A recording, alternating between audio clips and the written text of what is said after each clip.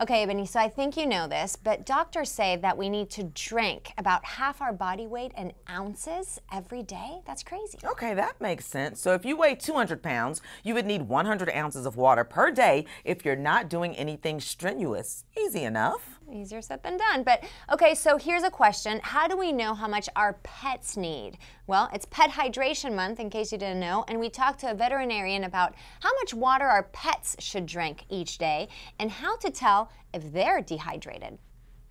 Hello, I'm Dr. Allison Smith from the Village Veterinary Medical Center in Knoxville, Tennessee. And today we're going to show you a few ways that you can check your pet's hydration status at home. So Lily is going to help us demonstrate a few tests today. Um, the first test that we can do is the skin turgor test. And if we look at our pets from the side, find the skin right in between their shoulder blades, lift the skin and release it. And if they are nice and hydrated, the skin will have good elasticity and return to its normal position quickly.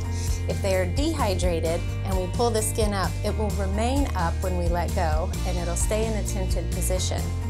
Checking hydration status in a cat is very similar to what we do in the dog. So first we can do a skin test to assess their hydration. And on love bugs here, if I turn to the side and we lift the skin in between the shoulder blades, we want it to return to its normal position very quickly.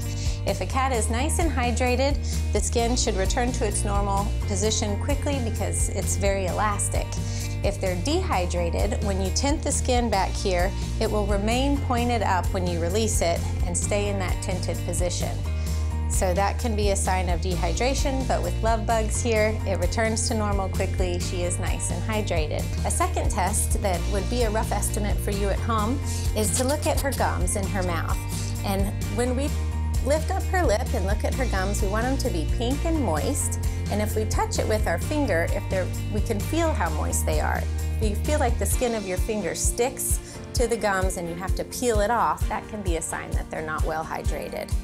So providing water for your pet is very important, um, keeping their hydration status up. And if there's any question, you can see your veterinarian to confirm that diagnosis. But those two tests are something easy that you can do at home to have a good idea. Um, it's always good to keep out fresh, clean water for your pet. Um, some people really like to use circulating water fountains. You can also provide ice cubes. And it's most important for your dog to have one ounce of water per pound of body weight per day. And if we can do that for our pets, we'll keep them nice and hydrated.